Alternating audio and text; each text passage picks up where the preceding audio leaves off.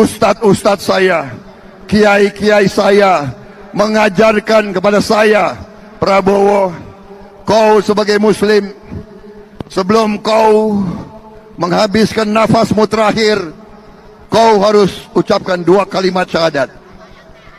Dan saya sudah tiga empat kali dalam hidup saya mengucapkan dua kalimat syahadat karena seharusnya saya sudah dipanggil Tuhan.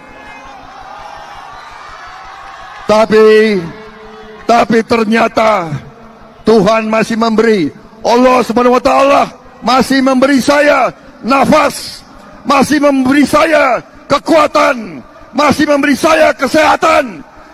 Berarti saya harus menunaikan tugas saya untuk bangsa dan rakyat Indonesia.